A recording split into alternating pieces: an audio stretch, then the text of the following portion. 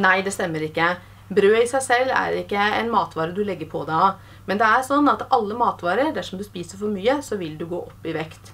Men det er faktisk sånn at eh, brød og grove kornprodukter gir en lang og god metthetsfølelse og kan heller bidra til at du holder vekta.